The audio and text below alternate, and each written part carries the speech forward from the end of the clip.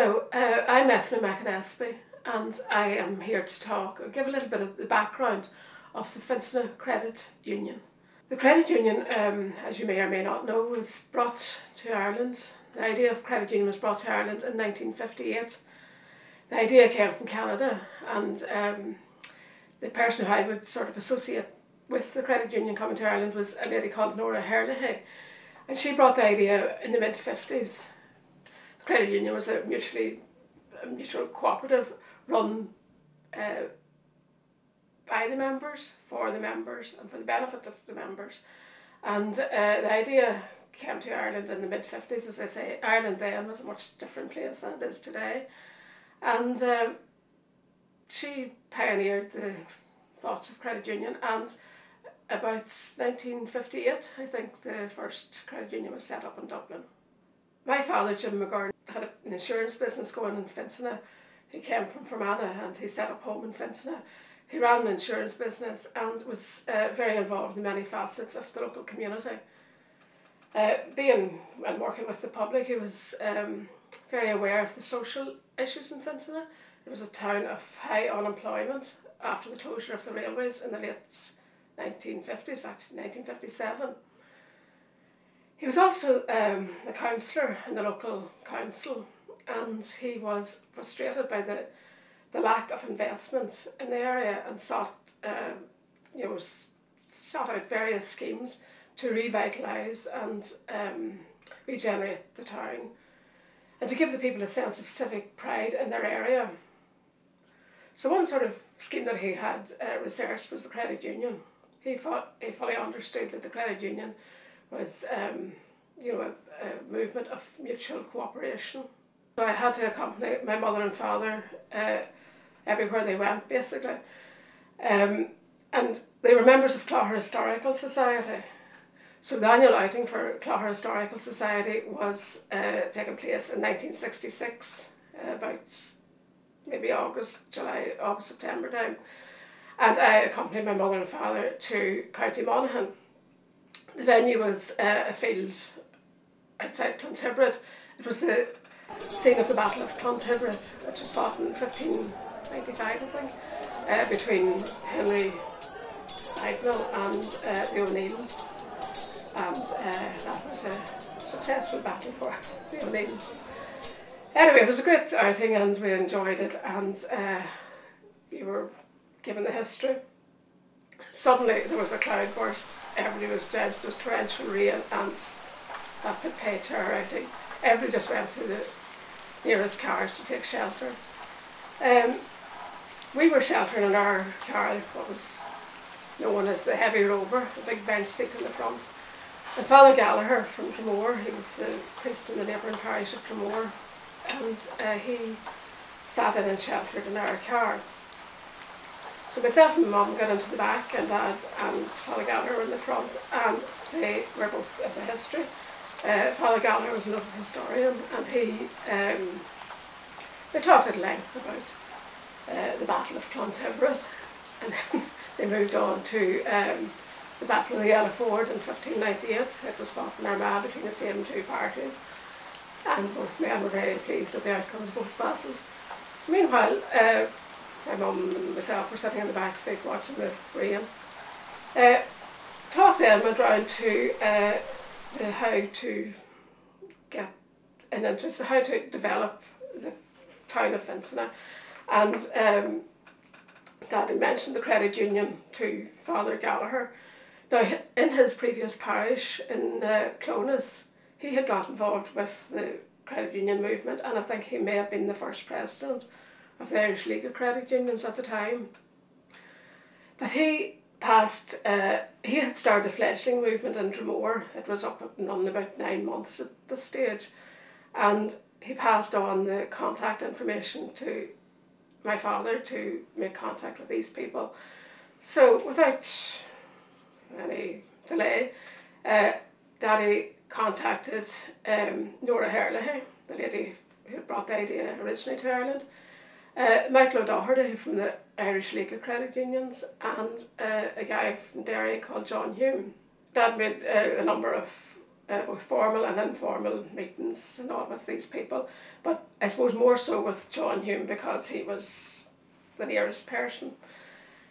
Uh, John Hume at the time was um, a teacher up in St Columb's College in Derry, and uh, my father was familiar with that because his two brothers had actually boarded up there in their day, and uh, they had that sort of thing in common. But anyway, Der- John Hume was uh, involved with the setting up of the credit union movement in Derry in 1960, which was two years after the idea was brought to Ireland.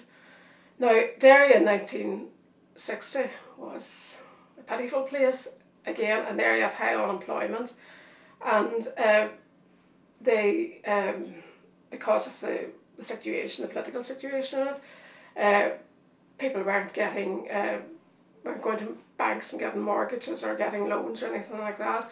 It left the community of Derry sort of uh, vulnerable to um, money lenders and things like, you know, stuff that uh, you'd rather not be near. So um, Credit Union started off in Ships Quay Street and uh, it took off and it was a big hit with the Derry people and a very very successful uh, credit union and still is.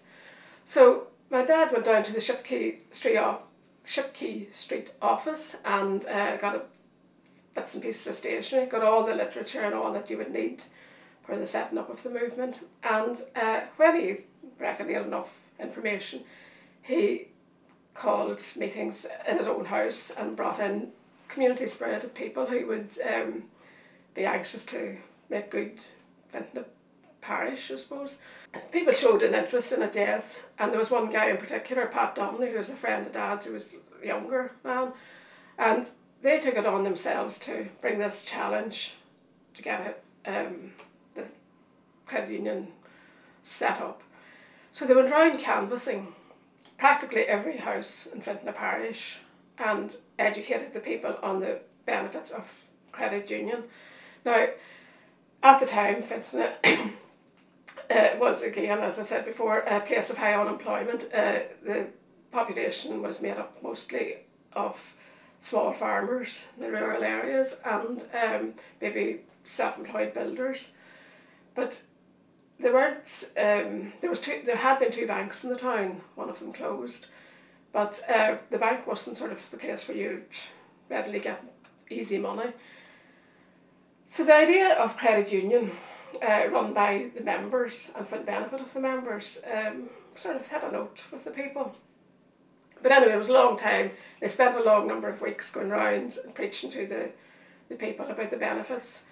Um, again, at that time, a lot of the young population uh, infants in a lot of rural towns had gone to make their living in England and London and places. And there was just, there was a, an urgency there to get something up and running so that the young people would stay at home and maybe buy or build or try to regenerate their own areas. Well, Daddy and Pat went round and um, with the interests of other people, um, they decided to call a meeting in St Patrick's Hall.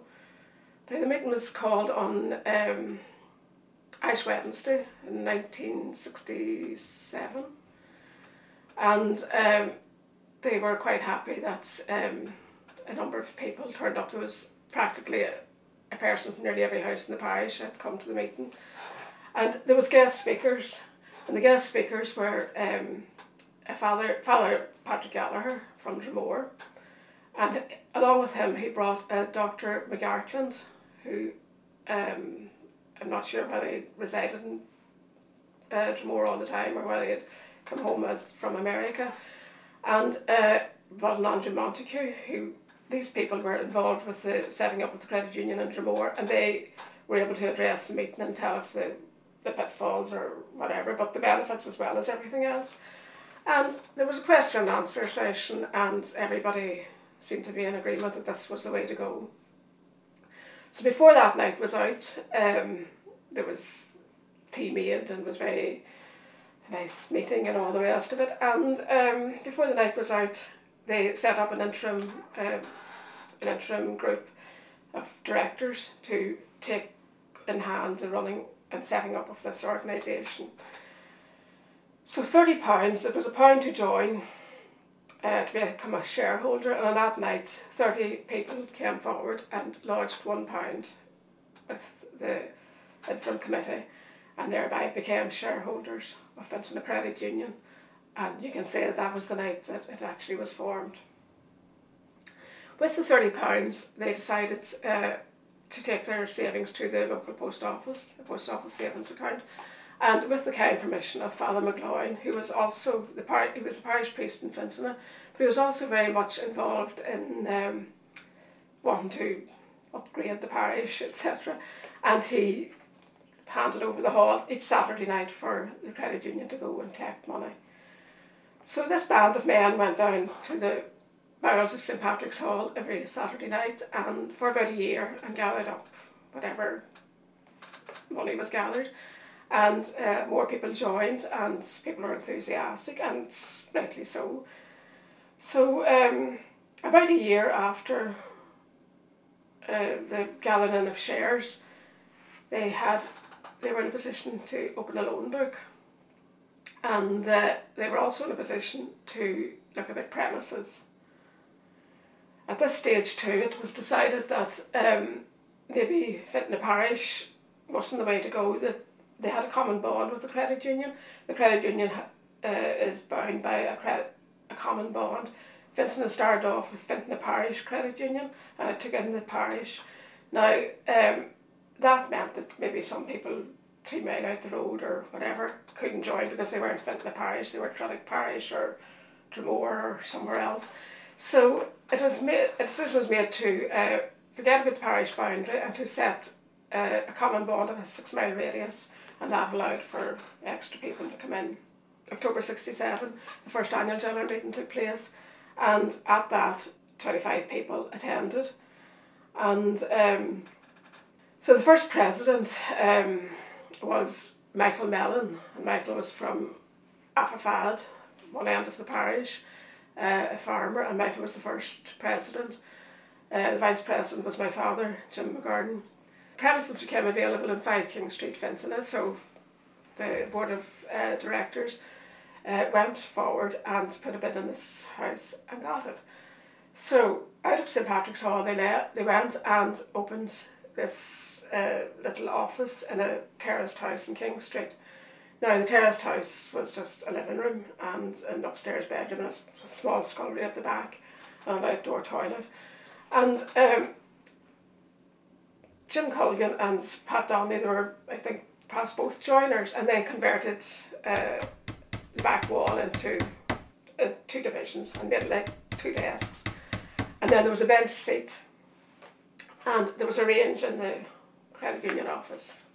Now, my abiding memory of the credit of the range was um, every Saturday, my father would load up uh, a couple of bags of turf and blocks, take them in the car, and we would go down and light the fire at Five King Street, Fintona, about five o'clock in the evening, and that was to have the place uh, cosy and warm for the shareholders when they came in to lodge their money. Persons would come in on the Saturday night and lodge their money. Uh, it was like a Calian house um, along the bench, the men would sit and they would go to the counter, deposit their money or whatever, then come out and chat, smoke, do whatever. And uh, it was a hive of activity. And uh, one of the committee members was Mickey McSorley, and Mickey was a very uh, jovial man, and the fun was, the crack was great. Um, at that stage, they had opened their loans book, so uh, you could go to the likes of Mickey McSorley or uh, Jim Culligan, Michael Mellon, whoever, and look about your loan. Now, obviously, you had to you had to adhere to the rules, but it was much easier going to your, next door neighbour to ask for a loan.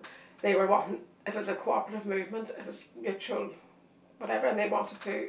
Um, help everybody. Uh, the credit committee was represented by Mickey McSorley and uh, his report, when asked for his report, his report was two words and the two words were no complaints. so, no complaints.